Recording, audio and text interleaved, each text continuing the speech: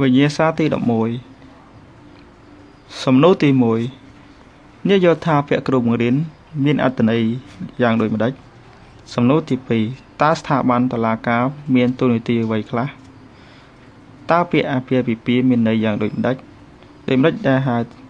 ខ្លះចំពោះប្រជាជនខ្មែរសំណួរទី4តើរដ្ឋមានធាតុផ្សំអ្វីខ្លះសំណួរទី5តើកម្ពុជាចូលជាសមាជិកអាស៊ានទទួលបានគុណសម្បត្តិនិងគុណវិបត្តិអ្វីខ្លះ ចម្លើយសំណួរទី1គ្រូបង្រៀនមានន័យថាជាអ្នកផ្ដល់ចំណេះដឹងដល់សិស្សឬជាវិស្វករដែលផលិតនៅធនធានមនុស្សជាគំរូល្អសម្រាប់សង្គមជារួមពាក្យថាគ្រូបង្រៀននេះជាភ្នាក់ងារសង្គមនៃយត្តកម្មដ៏ប្រសើរដែលសង្គមមិនអាចខ្វះបាន សំណួរទី2 ទូនីតិនិងភារកិច្ចរបស់ស្ថាប័នតុលាការមានដូចជាជាអ្នកអនុវត្តច្បាប់ជាអ្នកបកស្រាយច្បាប់ផ្ដល់នូវយុត្តិធម៌និងភាពស្មើគ្នាចំពោះមុខច្បាប់ដោះស្រាយចំនួនប្រកបដោយភាពត្រឹមត្រូវនិងដាក់ទណ្ឌកម្មចំពោះអក្រិតជន សំណួរទី3អត្តន័យនៃពាក្យអាពាហ៍ពិពាហ៍ចំពោះប្រជាជនខ្មែរពាក្យអាពាហ៍ពិពាហ៍នេះ វាមិនមែន ជាបញ្ហាតូចទេ សម្រាប់សង្គមខ្មែរយើង ខ្មែរយើងសឹងចាត់ទុកពិធីនេះជាពិធីសក្ការៈសម្រាប់ខ្លួនព្រោះថាខ្មែរយើង បានឲ្យតម្លៃខ្លាំងទៅលើពិធីនេះ គ្រួសារបានរៀបការនិងគ្រួសារដែលមិនបានរៀបការ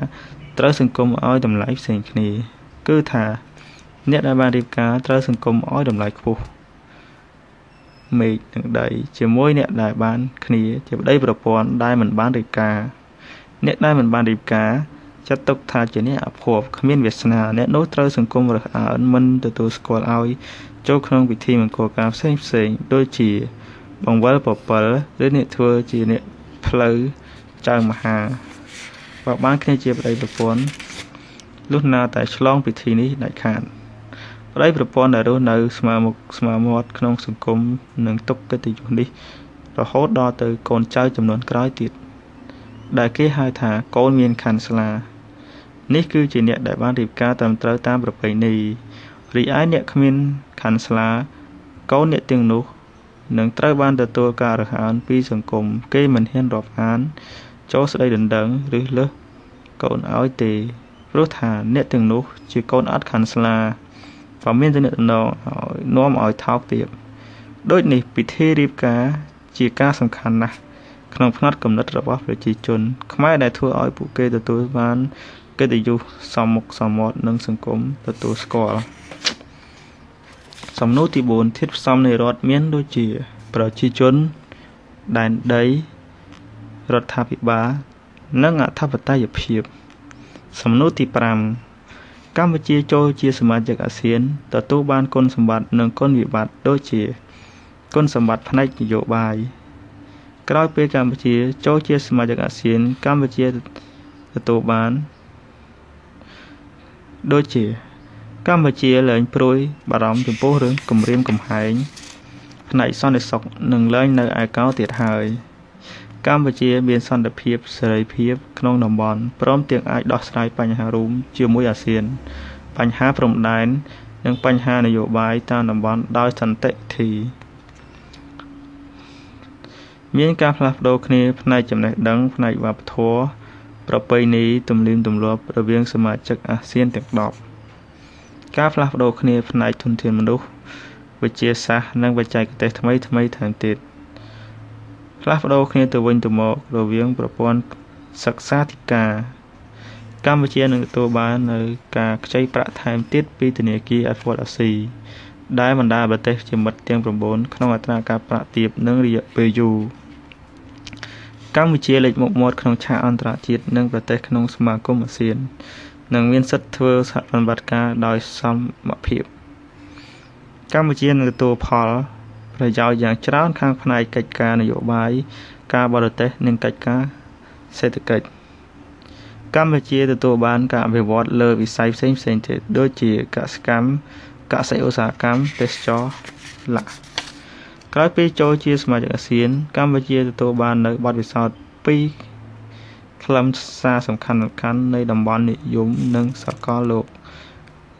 និយមព្រមទាំងយល់ដឹងពីទំនាក់ទំនងការទូត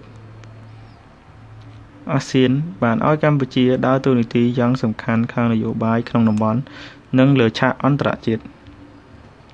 ខចំពោះគុណវិបត្តិផ្នែកសេដ្ឋកិច្ចអសំទោស គុណសម្បត្តិផ្នែកសេដ្ឋកិច្ចអត្ថប្រយោជន៍ខាងផ្នែកសេដ្ឋកិច្ចរួមមានកម្ពុជាបានបញ្ចូលចរន្តនិងលំនាំនៃការលូតលាស់ខាងផ្នែកសេដ្ឋកិច្ចនៅក្នុងប្រទេសរបស់ខ្លួន នៅក្នុងលំនាំការអភិវឌ្ឍសេដ្ឋកិច្ចនៅក្នុងតំបន់ពិសេសកម្ពុជាទទួលបាននូវបច្ចេកវិទ្យានិងបទពិសោធន៍ថ្មីថ្មីពីប្រទេសសមាជិកចាស់ទាំងតាមរយៈការផ្លាស់ប្តូរបទពិសោធន៍និងចំណេះដឹងកម្ពុជាអាចវាស់បាននៅកម្រិតល្បឿនសេដ្ឋកិច្ច និងការធ្វើកំណែតម្រង់ផ្សេងផ្សេងដើម្បីឈានទៅរកទីផ្សារក្នុងតំបន់និងលើឆាកអន្តរជាតិនៅសតវត្សទី21នេះសមាហរណកម្មកម្ពុជានៅក្នុងអាស៊ាន បាននាំមកនូវការរួបរวมយ៉ាងសកម្មក្នុងទំនាក់ទំនងប្រទេសជាសមាជិកដូចជាការចរចាទំនិញសេវាកម្មដើមទុន និងពលកម្មដែលកើតចេញពីការទំនាក់ទំនងយ៉ាងជិតស្និទ្ធនៃនយោបាយហិរញ្ញវត្ថុនិងសេដ្ឋកិច្ចក្នុងចំណោមប្រទេសជាសមាជិក អាស៊ានទាំង10ជាទីផ្សារដ៏ធំមួយនៅក្នុងតំបន់ដែលមានប្រជាជនជាង500លាននាក់សម្បូរដោយវត្ថុធាតុដើមធនធានធម្មជាតិនិងផ្ទៃដីដ៏ធំទូលាយព្រមទាំងជាតំបន់មួយកំពុងទាក់ទាញខាងទេសចរនិងផ្ដល់ឱកាសយ៉ាងច្រើនខាងផ្នែកសេដ្ឋកិច្ចជាតិកម្ពុជាទទួលបាននូវអត្ថប្រយោជន៍ពីវិស័យអភិវឌ្ឍធនធានមនុស្សអប់រំកាត់បន្ថយភាពក្រីក្រ